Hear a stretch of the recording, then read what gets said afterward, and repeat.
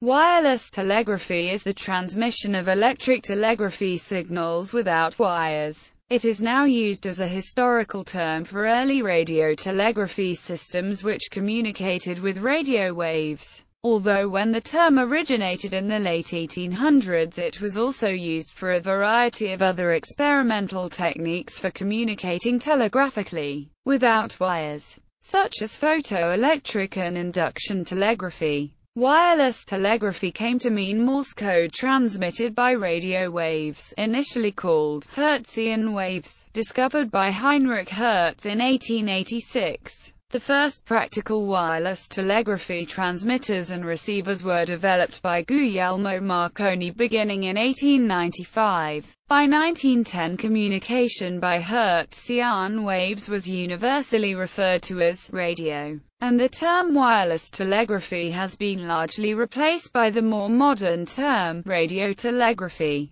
The transmission of speech began to displace wireless telegraphy by the 1920s for many applications, making possible radio broadcasting. Wireless telegraphy continued to be used for private point-to-point -point business, governmental, and military communication, such as telegrams and diplomatic communications, and evolved into radio teletype networks. Continuous wave radiotelegraphy is regulated by the International Telecommunication Union as emission type A1A. Today, due to more modern text transmission methods, Morse code radiotelegraphy for commercial use has become obsolete. On shipboard the computer and satellite-linked GMDSS system has largely replaced Morse as a means of communication. Telegraphy is taught on a very limited basis by the military. A CW coastal station, KSM, still exists in California, run primarily as a museum by volunteers, and occasional contacts with ships are made.